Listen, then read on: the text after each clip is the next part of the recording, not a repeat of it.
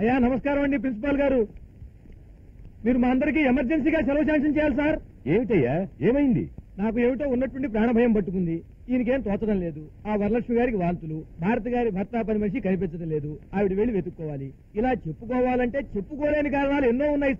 మీకు తెలియనిదే ఉంది ఇంతవరకు ఈ కాలేజీలో ఆ బాబ్జీ గడి రౌడీసమే ఉండేది. ఇప్పుడు ఆ అర్జున్ కూడా తోడయ్యాడు. ఇంకో రెండు నిమిషాల్లో ఆ రెండు గ్రూపులు కలిసి కొట్టు చావబోతున్నారు కాలేజీలో బాబ్జీ దౌర్జన్యం కాలేజీలో ర్యాగింగ్లు ర్యాగింగ్ల పేరుతో జరిగే దౌర్జన్యం కాలేజీలో ర్యాగింగ్లు కాలేజీలో ర్యాగింగ్లు నువ్వు లేడం అనుకుంటున్నావా. పాఠశాల కాదు మహాప్రభు పాకిస్తాన్ బోర్డరు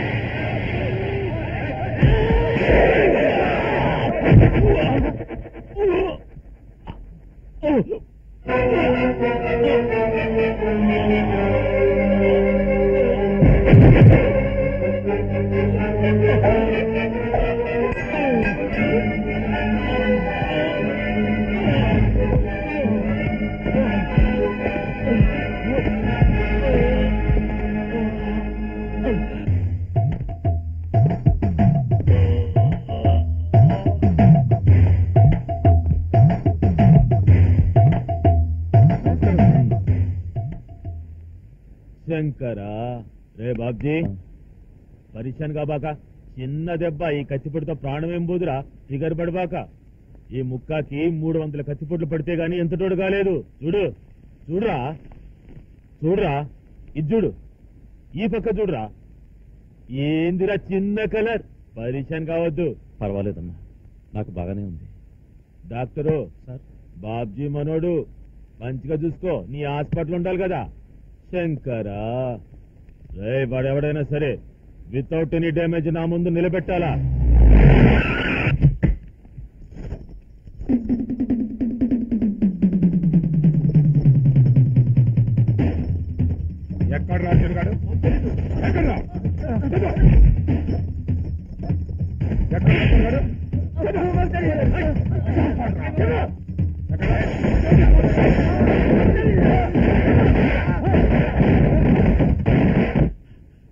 అర్జున్ వాళ్ళ హాస్టల్ అంతా ఎదుగుతున్నారు తప్పించుకోవడం కష్టం రే. ఈడ లాభం లేదు కానీ మీ అన్నగాడికి పోరా అక్కడనే సేఫ్ ఈ విషయాలు ఏవి అన్నయ్యకి తెలియకూడదు. ఆయన కంట్రోల్ చేయలేవు.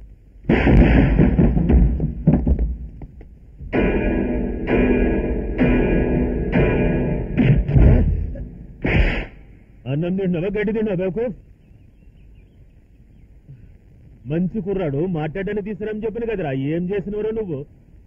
నీ ముఖంలో నా కలర్ కనిపిస్తాందిరా. అందుకే ఇష్టపెట్టిన. ఇరవై ఏళ్ళ కింద అదే కాలేజీలో నా సీనియర్ లీడర్ని పొడిచిన. బడే కలర్ క్రియేట్ చేసిన. నువ్వు నా లెక్క పేరు తెచ్చుకోవాలని ఆశీర్వాదం చేస్తున్నా జితేరావు బేట. బాబ్జీ గండి పిలు. రేయ్, బాబ్జీ ఏందిరా? ఆ? చిన్నదానికి ఎందురా పరీశాన్ అవుతావు? ఇప్పటిదాకా ఉన్న గొడవలు మర్చిపోండి. రష్యాలకి ఈడిపోబాకండి వెస్ట్ జర్మనీ జర్మనీ లెక్కనే కలిసి ఉండండి. అయినా నీకు ఈ సంవత్సరం కాలేజీ లాస్ట్ కదా. నువ్వు వెళ్ళిపోతావు కదా. ఈ తర్వాత లీడర్ కావాలి కదా. అది వీడిని చేద్దాం. నీకున్న అనుభవం అంతా వీనికి ఇద్దరు కలిసి కాలేజీలో కొత్త కలర్ తీసుకురండి.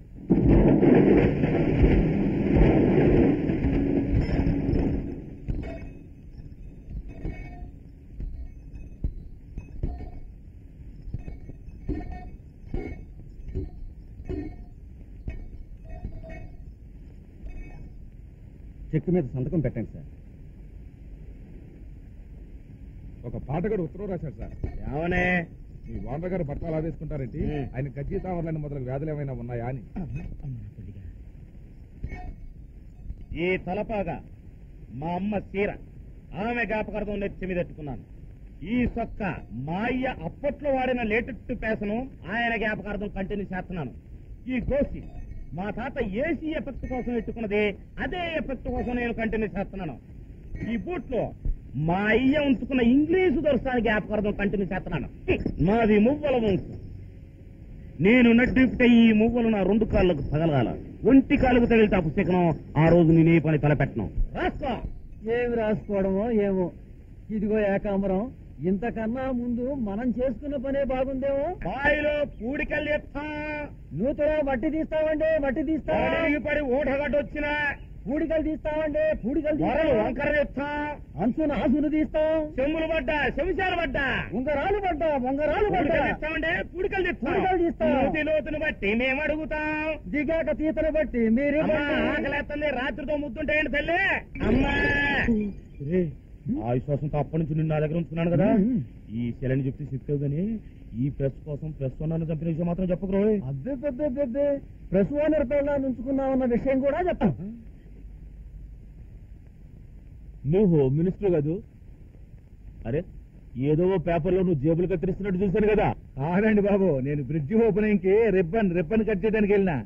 ఆ జోక్ చేసిన నేను ఎక్సైజ్ మినిస్టర్. ఆ తెలుసు. నువ్వు సుబ్బయించుకున్న దాని కొడుకు కదా. మీ మామని చంపినకి చాలా పరిశాన్ అయినా నా తెలవని చెప్తా. మీకు తెలుసు కదా నేను మాజీ సీఎంని. నన్ను పడగొట్టి ఆ లలితాదేవి సీఎం అయింది. లలితాదేవి పడగొట్టేదేంది? పైనుంచి పార్టీ పెద్దోళ్ళు వచ్చి పడగొట్టిండ్రు.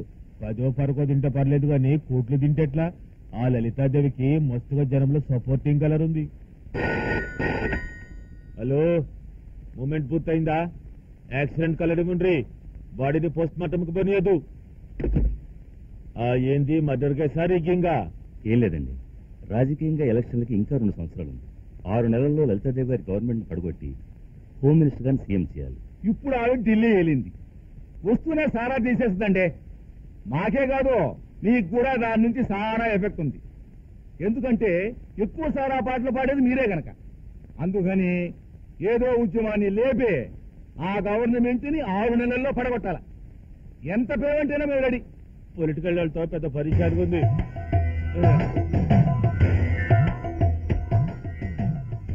ఈ రోజు మంచిగా లేదు. రేపు బాగుంది ఆదివారం దశమి. మధ్యాహ్నం మూడు గంటల తర్వాత ధను లగ్నం అప్పుడు పెట్టుకున్న అగ్రిమెంట్ వృషభ లగ్నంలో పేమెంట్ తీసుకుంటాను. నమస్కారం వస్తామండి.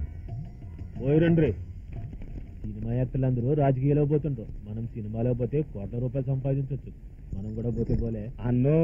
అరే నువ్వేడున్నారా బాణీలను చూసి కింద అన్నా, ఈ రాజకీయాలలో నమ్మొద్దు. వీళ్ళు నూతికి తెలియకుండా నూతిలో నీళ్ళు అమ్మేసే రకం గోసికి తెలియకుండా మువ్వను అమ్మేసే రకం. క్యా బాత్ బోల్తే రే తూ? నువ్వే పంపించి తమాషా చేస్తున్నావు. నిన్ను వాళ్ళని కలిపితే నన్ను ఢిల్లీ మిలిటరీ పంపిస్తానన్నారన్నా. సర్లే. నిన్నెందుకు పిలిచినానంటే నా బర్త్డే వస్తుంది కదా. నీ ఫ్రంట్ పేజీలో నా గురించి మస్తుగా రాయి. ఆ. డాక్టరు ఆ. పద్మశ్రీ పద్మభూషణ ఇవన్నీ నా పేరుకు ముందు పెట్టు. ఆ గంధర్వ బంధువు రాముడు భోజుడు కర్ణుడు ఇవన్నీ నా పేరుకి వెనుక పెట్టు మధ్యలో నన్ను పెట్టు. అన్నా నీ సుత్తి ఏం పెట్టాలో నేను చూసుకుంటానులే. ఏమైనా తేడాలు వస్తే నీ మువ్వ బగల కొడతా. గలగల్లాడిపిస్తా. Shankara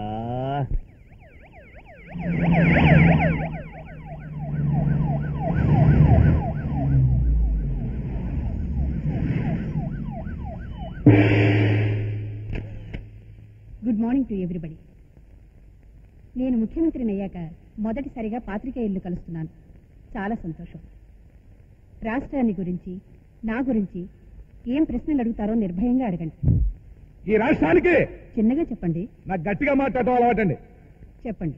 ఈ రాష్ట్రానికి మీరు తొలి మహిళా ముఖ్యమంత్రి కదా మీరు ఎలా ఫీల్ అవుతున్నారు? ఇంటిని దిద్దడంలో ఇల్లాలిగా నా బాధ్యత ఎలా ఫీల్ అవుతానో రాష్ట్రాన్ని దిద్దడంలో ముఖ్యమంత్రిగా కూడా అలాగే ఫీల్ అవుతున్నాను గడిచిన రెండు సంవత్సరాల్లో రెండు క్యాబినెట్లు మారాయి. మిగిలిన మూడు సంవత్సరాలైనా మీ క్యాబినెట్ ఉంటుందా? ఉండేలా పరిపాలిస్తే ఉంటుంది. ఈ మధ్య ముఖ్యమంత్రి కంటే ఆయన అసమ్మతే ముందు తయారవుతుంది. మీకు అసమ్మతి తయారైందా? అవబోతుందా? చూడండి. జర్నలిజం అనేది ప్రభుత్వానికి ప్రజలకి వారధి లాంటిది. అడిగే ప్రశ్నలు పది తరాలకు నిలబడేలా ఉండాలి కానీ పది మంది నవ్వుకునేలా ఉండకూడదు. ఎక్స్క్యూజ్ మీ మేడం ఇప్పుడు మన రాష్ట్రంలో ఆడవాళ్ళందరూ సారా తీసేయాలని ఆందోళన చేస్తున్నారు. వాళ్ళ మీద చాలా దౌర్జన్యాలు జరుగుతున్నాయి కదా. ఈ ఉద్యమాన్ని మీరు ఏ దృష్టితో ఆలోచిస్తారు? నేను ఒక స్త్రీననే దృష్టితోనే ఆలోచిస్తాను. మన దేశంలో కులాలనేవి ఉండకూడదని అందరికీ ఒకే కులం కావాలని పెద్ద పెద్ద ఉపన్యాసాలు ఇస్తారు కదా. మరి ఈ రోజు మన రాష్ట్రంలో ఏ కాన్వెంట్కి వెళ్ళినా కులం పేరు చెబితే గానీ పిల్లలకు సీట్లు ఇవ్వడం లేదు. కులాల పేరు చెప్పి హాస్టల్స్ కడుతున్నారు స్కూల్స్ కడుతున్నారు కళ్యాణ మండపాలు కడుతున్నారు. మీ కేబినెట్ నుంచి కాన్వెంట్ వరకు మొత్తం కులాల మీద నడుస్తుంది. దీనికి మీ సమాధానం ఏమిటి? మంచి ప్రశ్నే అడిగావు. కానీ దేవుళ్ళే మతాలు కులాలు పెట్టుకు పుట్టిన ఈ సృష్టిలో ఇది ఎప్పటికీ జవాబు లేని ప్రశ్న. మీరు ఢిల్లీ ఎందుకు వెళ్ళారు మేడం? మంత్రివర్గ విస్తరణ కోసం మాత్రం కాదు. మన రాష్ట్రానికి కావాల్సిన నిధులు అడగడానికి వెళ్ళారు. ఇప్పుడు మీ పరిపాలన రాష్ట్రాన్ని బాగు చేయడం కోసమా? వచ్చే ఎలక్షన్ ఓట్ల కోసమా? ఓట్ల కోసం తప్పడడుగులు వేసే నాయకులు నా దృష్టిలో వడ్డించిన విస్తర మీద నించుని రేపొచ్చే వర్షం కోసం ఎదురు చూసేవారు. అలాంటి రాజకీయాన్ని నేను సమర్థించను. నాకు చేతనైతే మంచి చేస్తాను గాని రేపటి ఓటు కోసం ఎంగిలాకులు నాకే కుక్కల్ని మాత్రం ఆదర్శంగా తీసుకోను. మీరు ఒక ఎలిమెంటరీ స్కూల్ టీచర్ భార్య కదా. మీ సోషల్ సర్వీస్ మీ నాన్నగారి స్వతంత్ర పోరాటం మిమ్మల్ని ఒక మంచి నాయకురాలిగా చేసి ఈ రోజు సీఎం కూడా చేశారు. కానీ మీ వారిని మీరు ఇంకా ఎలిమెంటరీ స్కూల్ టీచర్ గానే ఉంచడం మీ సింప్లిసిటీ ప్రజల ముందు ప్రచారం చేసుకోవడం కోసమని కొందరు అంటున్నారు. దీని గురించి మీ వారేం బాధపడడం లేదా? ఏమై నేను అలా ఫీల్ అవటం లేదు. ఎలిమెంటరీ స్కూల్ టీచర్ భార్యగా నువ్వు సీఎం అయ్యావు కానీ సీఎం భర్తగా నేను టీచర్ని కాలేదు. నేను బాధపడేది ఒక్కదానికి. నా విద్యార్థులు తప్పు చేసినప్పుడు పరీక్షలో తప్పినప్పుడు. ఆ విద్యార్థుల్లో కలెక్టర్లు ఉండొచ్చు సీఎంలు ఉండొచ్చు రాష్ట్రపతులు ఉండొచ్చు. గాంధీ గారు లాంటి వారే ఇద్దరు ఆడపిల్లలను ఆసరాగా తీసుకుని నడిచినందుకే తప్పు పట్టిన లోకం ఇది. దాన్ని నువ్వు పట్టించుకోకు. అధికారంలో ఉన్న వాళ్ళు మెంటల్ గాను ఉండకూడదు సెంటిమెంటల్ గాను ఉండకూడదు. నీతి తప్పన నిరంకుశంగా ఉండాలి. నా భార్య ఎంత సీఎం అయినా ఈ ఎలిమెంటరీ స్కూల్ టీచర్ జీతంతోనే అన్నం తింటుంది. అదే ఆవిడ గొప్పతనం. ఆ జీతాలు సరైన టైంకి రావటం లేదు. ఒకటో తేదీకి వచ్చేలా చూడండి. ఇంట్లో ఇబ్బందిగా ఉంది. ఆ, త్వరగా కానివ్వండి. మీ కేబినెట్ మీటింగ్ ఉంది. ఇప్పుడు నువ్వు తాగుతున్నావు నువ్వు దౌర్జన్యం చేస్తున్నావు. చట్టం నీదే అనుకుంటున్నావు. ఒకరిని అడిగే హక్కు నీకెక్కడుంది? నేనంతరపరచగొట్టిన గుండాని. నాలో కొన ఊపిరిగా మిగిలిన న్యాయం ధర్మం అగ్నిపర్వతమై బద్దలవకూడదని తాగుతున్నాను. ఓడిపోయిన చట్టాన్ని చూసి నేనే చట్టమయ్యాను.